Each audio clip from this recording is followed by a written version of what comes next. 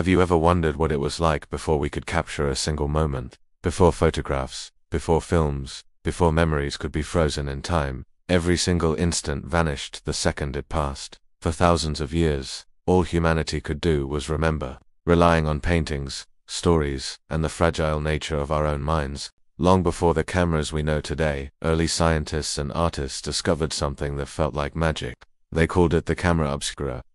Imagine a completely dark room or a box with a tiny hole.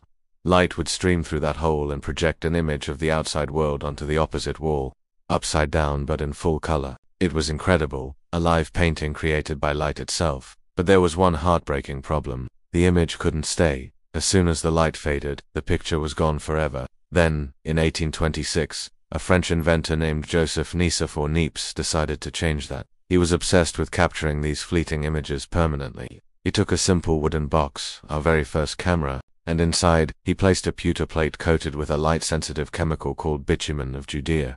He pointed this box out of his workshop, window in the French countryside, opened the shutter, and then he waited.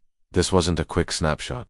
Hours passed. The sun slowly crawled across the sky, its light painstakingly burning a mark into the chemical-coated plate. Niepce had to wait for more than eight hours for the exposure to complete. When he finally developed the plate, what appeared was not perfect. It was blurry, faint, and ghostly, silent, but it was real. That image, a simple view from his window, became the very first photograph ever taken in history. It was the first moment that humanity managed to capture and hold on to forever. There were no faces, no smiles, just the quiet rooftops and sky of a long ago afternoon. Yet this single, grainy image changed everything.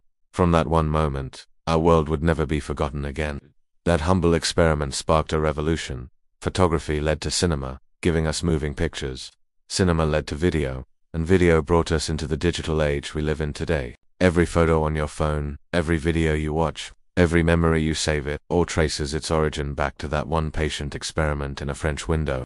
The first camera didn't just capture an image, it captured time itself. And once time was captured, history was never the same again. Thanks for watching. If you enjoyed this story, don't forget to like and subscribe for more.